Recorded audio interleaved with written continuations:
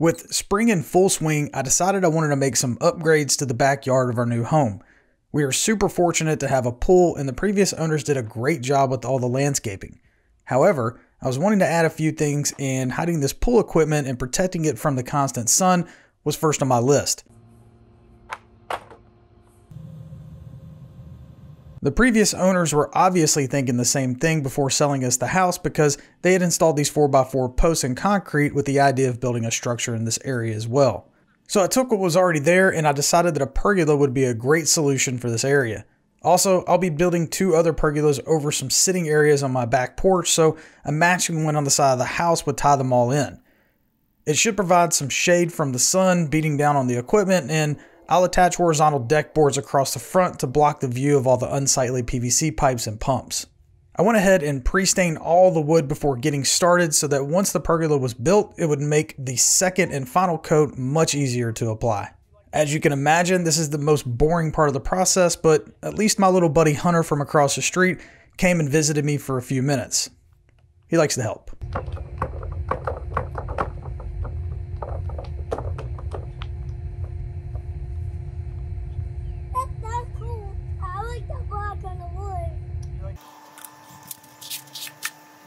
I started the building process by cutting two 2x8s to length from my ledger that will be attached to the brick of the house. I'll be using 3 8 inch concrete Tapcon screws to attach them, so I pre-drilled the holes in the wood and then I got some help to hold the boards in place on the wall.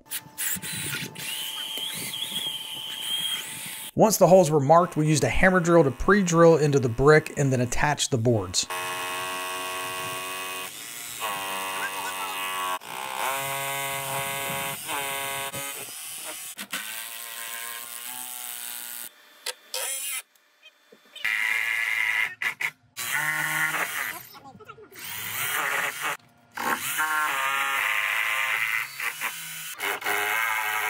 With the post already in place, we turned our attention to the headers. I used 2x8s for these and I did a header on both the front and the back of the post. To create the crowns, I measured and marked a line to designate where the outside of the 4x4 post would fall on the header.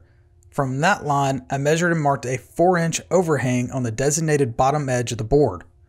From that mark, I used a carpenter square to mark a 45 degree upward angle to the top edge of the board. Once I had the 45 cut, then I cut 1 inch off the point. Overall, this created a 10.5 inch overhang on the total crown. Now there is a ton of different ways to complete this overhang and crown look, it just depends on how detailed you want to get and how much time you have.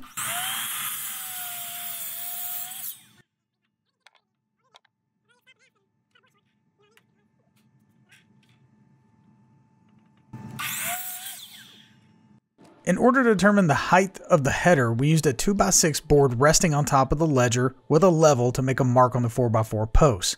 Now, this is where I messed up because I wasn't thinking ahead. I'll explain my mistake in just a minute, so hang in there and let's see how far I get on this build before realizing what I did wrong.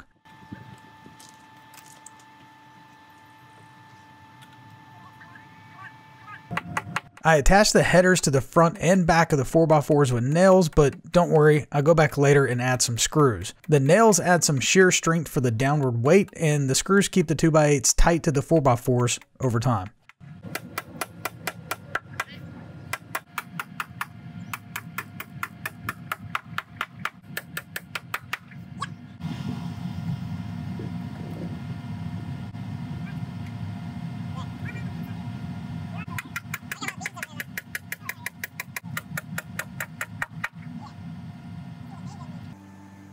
With the headers attached, I then turned my attention to the 2x6 joist.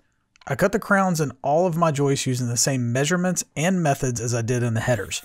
I measured and cut one and then used it to trace the angles to the rest of the boards.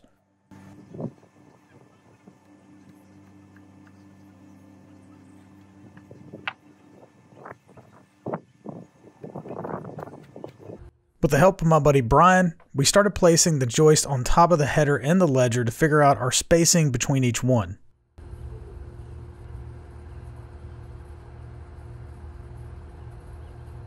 So if you didn't figure it out as I was doing it, which I'm sure most of you did, here's the explanation of where I messed up earlier. For this pergola, I'll be using joist hangers that will put the top of my 2x6 joist level with the top of my ledger. So what I should have done was marked another line on the post that was five and a half inches lower than the one that I marked level with the top of the ledger, which is the width of the 2x6 joist that I'll be using. But I didn't do that, and I didn't realize it until right about now. Perfect. what I can do is I got six and a half interior, and then I got boom tabbed on the uh, exterior. I figured at this point we already had several joists set in place, so we should just go ahead and set the rest of the 2x6s in place and determine our spacing before we take them all down and either move the header or the ledger, whichever one.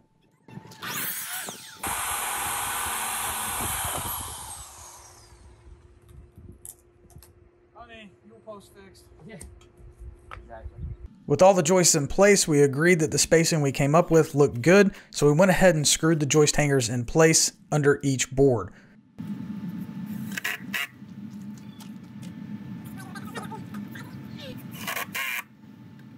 At that point, we decided that it would be much easier to move the ledgers up five and a half inches instead of deal with the headers, so we went to work on redoing that. It only took a few minutes in actuality, and besides a few extra holes in the brick that I have to fill, it wasn't that too terrible of a mistake. Once that was done, we started putting all the 2x6 joists in place and screwing them to the joist hangers. One of the more challenging things about this build wasn't actually the pergola itself, but shooting video and audio outside. The wind blew the entire time, and because I got to speed up the video, you hear a lot of chipmunk talk. And remember, as always, if you have a question, leave them down in the comment section. I'll be sure to get to them all and I'll answer them the best that I can.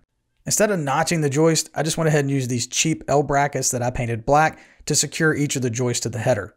They added plenty of strength to each joist and saved me a ton of time not having to notch each board.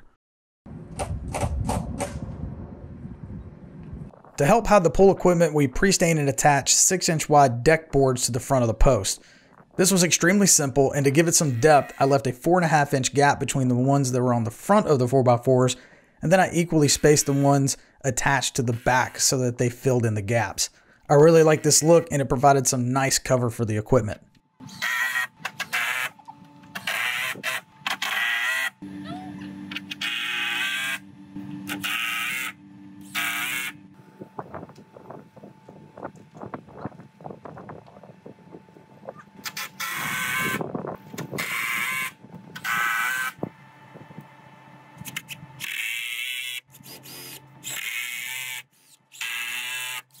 After all the boards were in place, I went back and added screws to all the areas that needed it, and then I capped the ends with a deck board to give it a more finished look.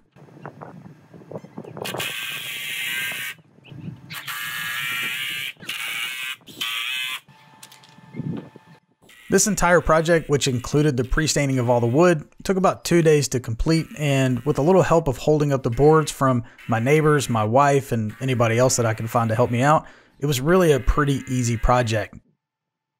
All right, that does it for us today. I'm really happy the way this turned out. It's an awesome structure that looks really good on the side of the house, provides some great cover for the pool equipment, uh, add some shade just to, you know, help on the wear and tear of it. There's a few things that, of course, I did wrong, like the header and ledger height. Uh, also, if I had to do it all over again, I think that I would not have placed the L brackets on the inside of this header. I think that I would have left this off, installed this header, then did my joist, put my L brackets on the inside, and then installed this uh, header.